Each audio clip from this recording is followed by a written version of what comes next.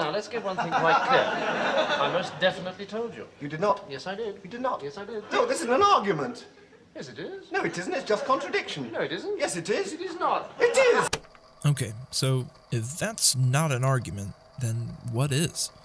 A child complaining to a parent about the unfairness of their bedtime? Maybe. Two teenagers nitpicking about which Star Wars trilogy is better? Hardly. A married couple shouting over family problems loud enough for the neighbors to hear? Definitely. A televised presidential debate? Because the You wanna question put a lot is, the question Supreme Court is, justice, the radical question- left. Will you Who is shut your- up, man? Listen, who is? Debatable. Plenty of real world commonplace examples come to mind when we think of arguments. But what constitutes a good argument?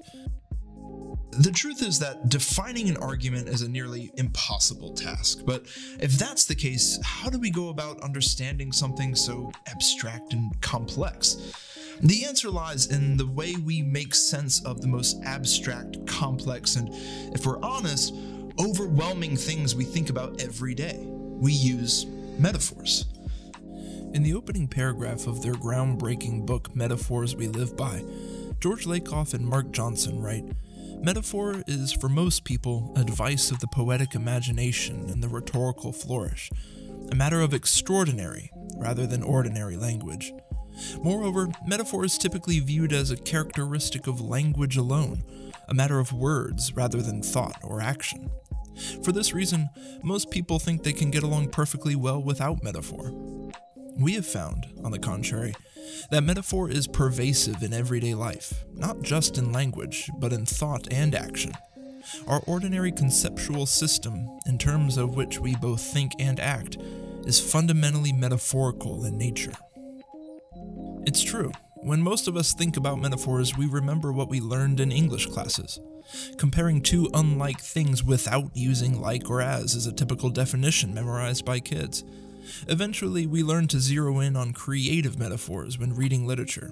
Take, for example, one of the most famous literary metaphors from Shakespeare All the world's a stage, and the men and women merely players.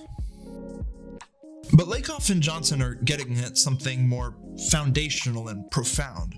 Metaphors are intrinsic to how we understand, think about, and talk about the world. I consider two overarching categories of metaphors Lakoff and Johnson discuss orientational metaphors and structural metaphors. Orientational metaphors give an abstract concept a spatial orientation. Consider these metaphors with common sayings we use to express them. Happy is up, sad is down. Health and life is up, sickness and death is down. More is up, less is down. Structural metaphors, on the other hand, connect a concept to something more concrete, easily understood, and talked about. Prime examples include time is money. You should spend your time more wisely. That was a waste of time. We need to budget our time. Life is a journey. Where do you see yourself going in life? Maybe I'll see her again down the road. Where I came from made me who I am. Mind is a machine. I can see the gears in your head turning. Her mind can store up a lot of information. He's having a mental breakdown. Most of these structural metaphors are positive, or at least neutral in their connotation, but there is one that is distinctly and undeniably negative argument, because argument is war.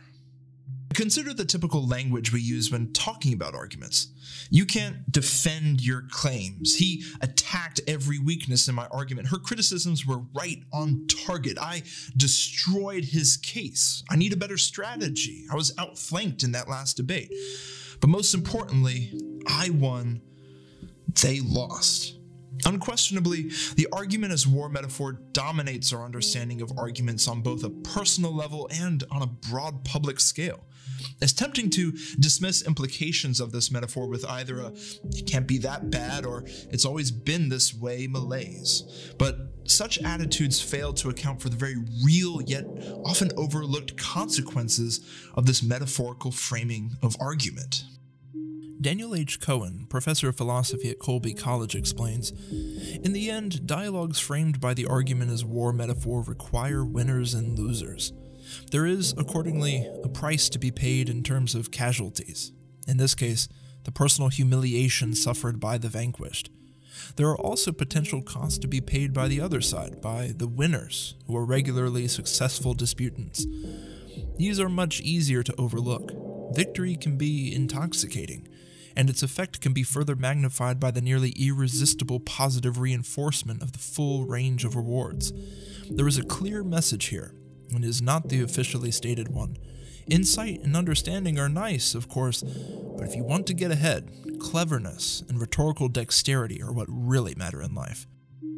The result may well not just be able arguers, but argumentative arguers, proficient, pedantic, petty. Considering Cohen wrote these words in 1995, his point here is astonishingly prophetic for our modern era, in which arguing has become ubiquitous and wildly accessible thanks to the internet and social media. The proficient, pedantic, and petty arguers Cohen is describing here, in albeit exceedingly polite language, are practically synonymous with online trolls. It's in trolls, and the interconnected technologies that spawned them, that we see the argument as war metaphor run amuck most clearly.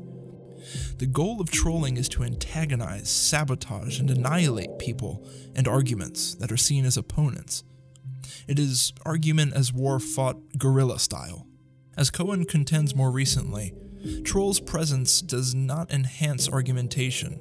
Their purposes are their own, and their contributions generally do not make a positive contribution to the argumentation.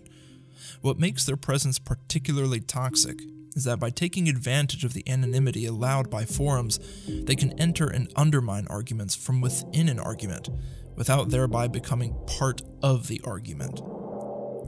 A study conducted by Erin Buckels of the University of Manitoba determined the dominant personality traits of online trolls. The results were frightening, although not necessarily surprising as participants who self identified as trolls scored high in the so called dark tetrad of traits, which include Machiavellianism, narcissism, psychopathy, and sadism. While trolls fortunately comprise a relatively small percentage of the internet using population, their influence, however, is disproportionately immense, either leaving a wake of bloodied victims or adversely influencing otherwise reasonable people into arguing in the same radical warlike manner. Either outcome only serves to perpetuate the damage and harm the quality of well intentioned, good faith arguments. A variety of ideas have been proposed as solutions to the problem of internet trolling, but they don't get to the root cause of the issue. The structural metaphor argument is war. If we're going to be better, more humane arguers, we need to develop and implement new metaphors for argument.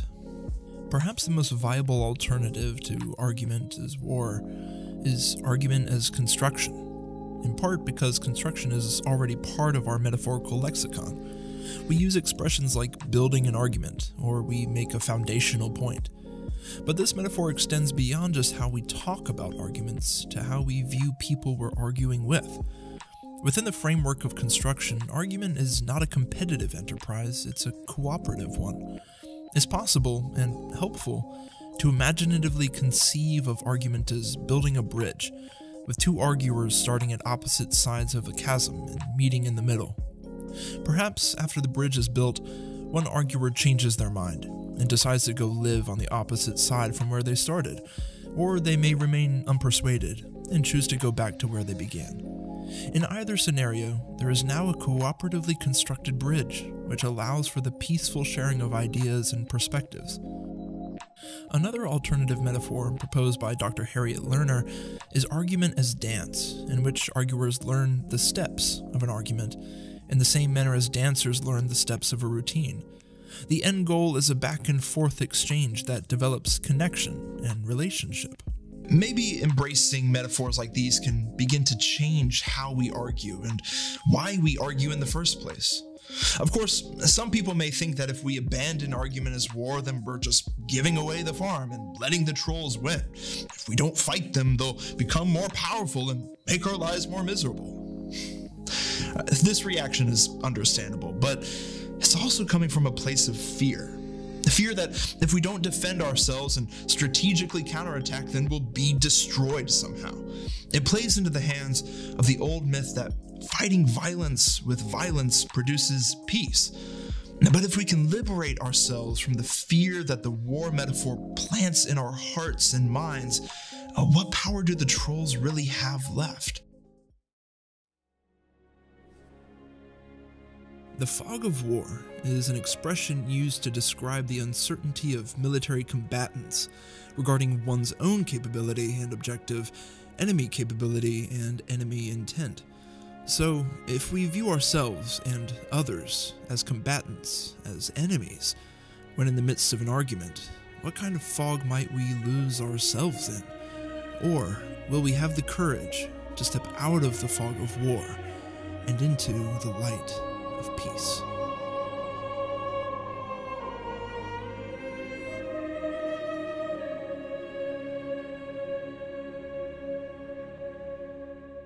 So, obviously, this video is an argument, and I'm trying to persuade you to a new worldview, a new perspective on arguing. And if I've been successful, then most people would assume that I was the winner of the argument. But I have to ask, what does that even really mean? What do I really even gain out of winning? Uh, round of applause, pat on the back, gold star for being a good arguer. Well, the truth of the matter is, is that I don't really gain anything, especially anything intellectually, from being the winner of this argument. In fact, I would say that you're the winner. You're the one who has emerged with something new, a, a new perspective, a new worldview, or at the very least, a more nuanced perspective. Yeah, you're the winner. And that's a good thing. So, good luck arguing, and thanks for watching.